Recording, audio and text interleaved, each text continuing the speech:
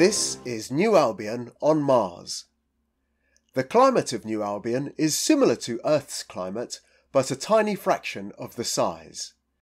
In its normal configuration, a single way of New Albion has an internal volume of about one hundredth of a cubic kilometre.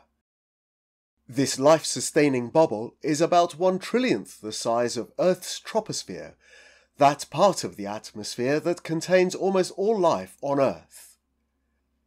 The colonists of New Albion don't occupy a habitat so much as a picohabitat.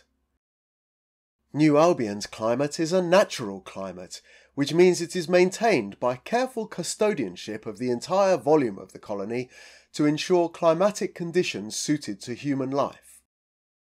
As on Earth, most of the volume of New Albion is given over to non-human living things which balance human activity to preserve a healthy climate.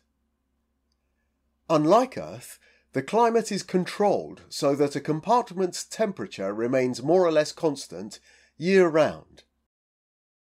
Days are constant length. There's a steady faint breeze from the way's air circulation, and if it rains, it mostly rains only in the middle of the night. Daylight is provided from diffuse panels in the roof of the compartment, which brighten slowly at the start of the day and dim in the evening. The weather isn't much of a conversation topic at New Albion